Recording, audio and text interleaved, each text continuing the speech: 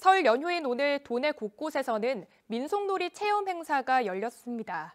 도민들은 가족들과 함께 행사장을 찾아 3년 만에 거리두기 없는 연휴를 만끽했는데요. 하지만 오늘 밤부터 제주 전역에 폭설이 예보되면서 일부는 아쉬운 마음을 뒤로 한 채 서둘러 귀경길에 오르기도 했습니다. 김경임 기자의 보도입니다. 박물관 광장 안에 노래가 울려 퍼지고 아이들은 순례의 구호에 맞춰 살금살금 발걸음을 옮깁니다. 게임에 참여한 아이들의 얼굴에는 웃음꽃이 피었습니다. 한쪽에서는 연 만들기가 한창입니다. 크레파스를 이용해 그림을 그리자 금세 나만의 연이 완성됩니다.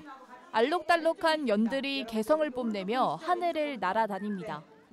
명절에 빠질 수 없는 윷놀이, 불꽃 튀는 윷놀이 내기가 벌어집니다. 아이들은 커다란 육가락을 모아 있는 힘껏 던져봅니다.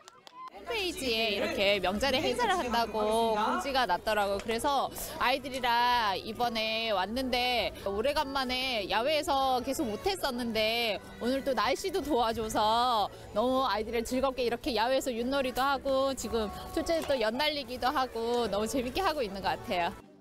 설 연휴를 맞아 도내 곳곳에서 민속놀이 체험 행사가 열렸습니다. 팽이치기를 비롯해 제기차기 등 어른들도 어느새 동심으로 돌아갑니다. 어릴 적 갈고 닦았던 실력을 마음껏 뽐내봅니다.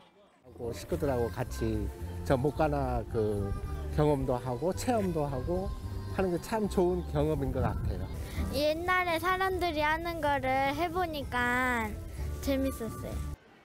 반면 제주공항에는 일찍이 귀경길에 오른 사람들로 북적입니다. 제주 전역에 한파와 함께 많은 눈이 내릴 것으로 예보되면서 서둘러 귀경길에 나선 겁니다. 설 연휴 사흘째 하루 동안 4만 3천여 명이 공항을 통해 제주를 빠져나가며 이른 귀경 행렬이 시작됐습니다. 행여나 폭설로 비행기가 끊기지는 않을까 아쉬운 마음을 뒤로 한 채 발걸음을 재촉합니다. 비 소식도 있었고 내일부터 이제 대설주의보 소식도 있고 해서 혹시나 이제 못 나가는 일이 있을까봐 하루 전에 미리 나가, 나가게 되었습니다. 제주도는 올 때마다 하루 더 있었으면 좋겠다 항상 생각을 하는데 그래도 혹시나 이제 하루 더 있으려다가 한 며칠 더 있을까봐 좀 안전하게 서둘러야죠. 3년 만에 거리두기 없이 맞이한 설 연휴. 모두들 아쉬움 속에 일찍이 일상으로 돌아갈 준비를 하고 있습니다. KCTV 뉴스 김경임입니다.